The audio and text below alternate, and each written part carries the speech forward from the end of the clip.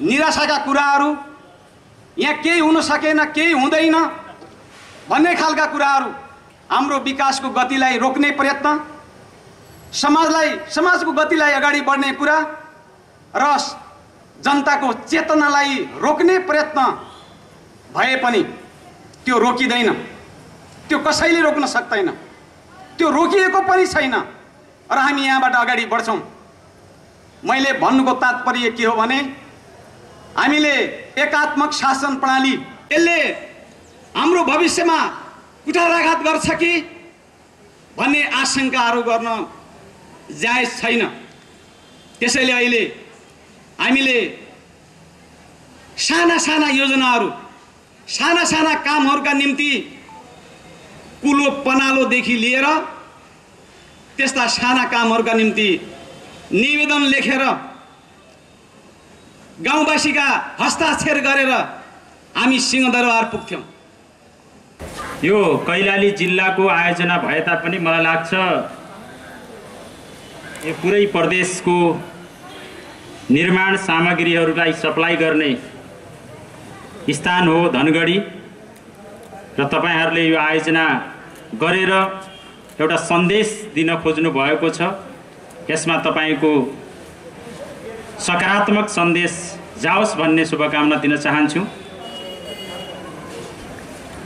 हामी सबैलाई थाहा छ विभिन्न कारणहरू रहे यो बन्न पहिले हामीले जति तीव्र गतिमा विकास गर्नुपर्ने थियो जति तीव्र गतिमा हामीले जानुपर्ने थियो जति तीव्र गतिमा हाम्रो विकास अगाडि बढ्नुपर्ने थियो। त्यो नहुनाका केही कारणहरू छन् र त्योबाट हामी माथि पनि उठिसकेका छौँ अहिले। राजनीतिक कारण हुन सक्थे।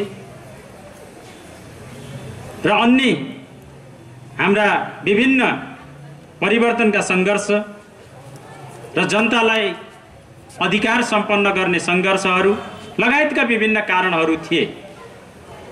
र अब हामी यो कारणबाट माथि उठिसकेका छौँ। र अब हामीले विकासको बाटोमा तीव्र गतिमा अगाडि बढ्नुपर्ने अहिलेको आवश्यकता हो। हामीले संविधान पायौँ हामीले नयाँ व्यवस्था पायौँ तिनटै तहका सरकार मलाई लाग्छ तिनटै तहका अधिकार सम्पन्न सरकार अरू देशहरूमा कमै पाइन्छन्। स्थानीय सरकार पावरफुल सरकार आफै कानुन निर्माण गर्न सक्ने सरकार। गुणस्तरीय सामग्री जनताको बिचमा पुर्याउने कुरा। त्यो तपाईँहरूको दायित्व तपाईँहरूको जिम्मेवारी हो।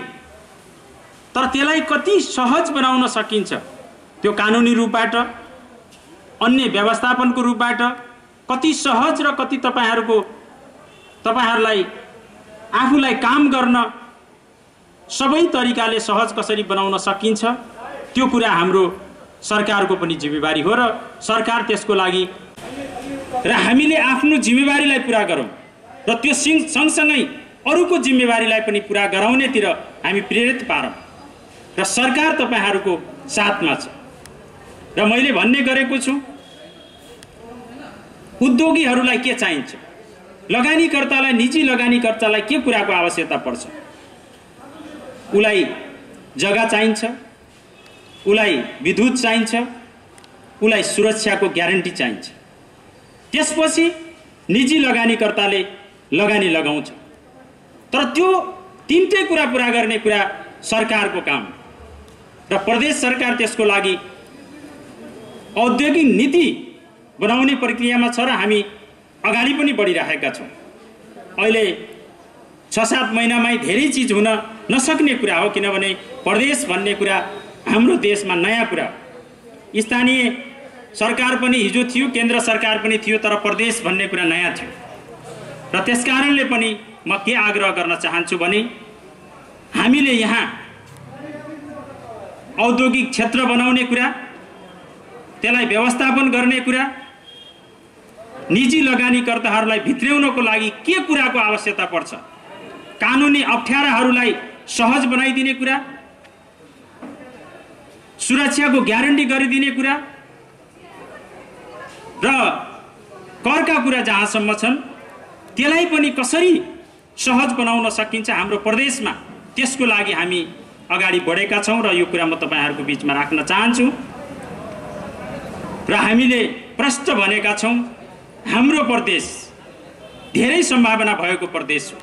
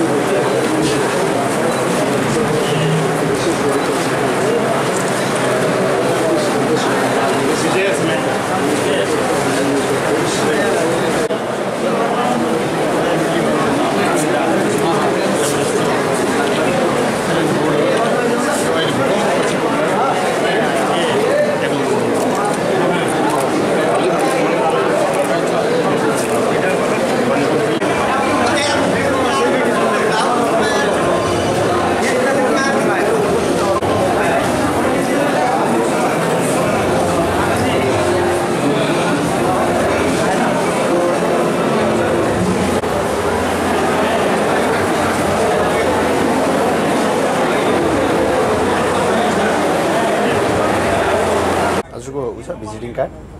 कार्ड त ल्याएनौँ सर यो यसैमा चाहिँ गर्दा हुन्छ। यसैमा राख्दा हुन्छ।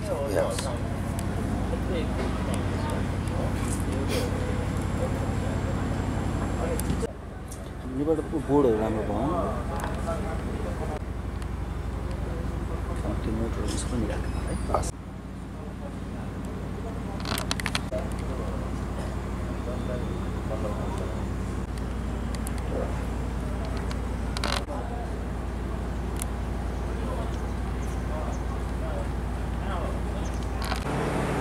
यहाँ सबैले त्यही दिन थालेको।